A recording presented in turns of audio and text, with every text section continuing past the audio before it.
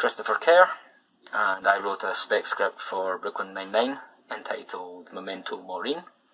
Welcome to my floating abode, where the magic happens, my fortress of awesomeness.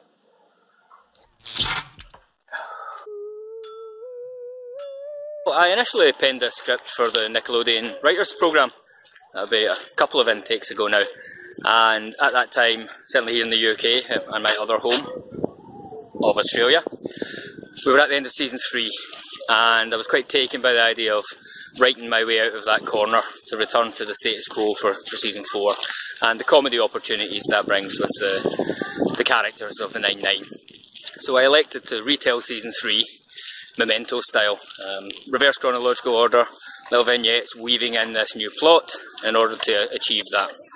But just because something's a comedy doesn't mean it shouldn't have a heart or a social conscience, something to say, and I felt that element was missing. And then out walking the dogs suddenly came to me. Some research I had done, um, feature I'm trying to write about James Hydrick, um, involving the, the amazing Randi, had uncovered um, the real harm, the real, uh, hesitate to use the word evil, but the, the evil of certain psychics or um, supposed psychics, the charlatans.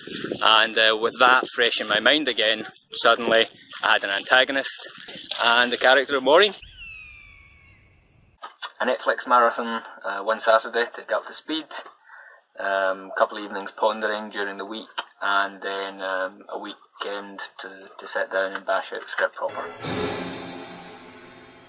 Nope. Um, I am a pretty diverse gun for hire type uh, writer. Um, nothing I've managed to get produced as of now.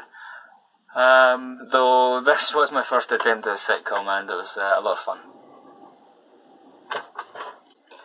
At Crazy Rose 80 asks, why did I enter Scriptapalooza TV and isn't second place a lot like first loser? Um, as I mentioned earlier, I had a, a, script I was quite proud of, um, work smarter, not harder. I could use the exposure and um, Scriptapalooza's very well respected, renowned um, showcase. I don't think Firefly's coming back.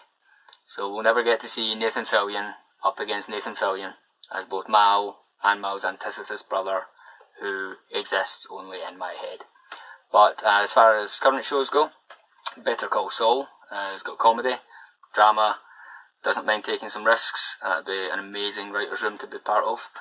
Um, it should also go without saying that in terms of sitcom, the daddy is, and possibly always will be, Arrested Development.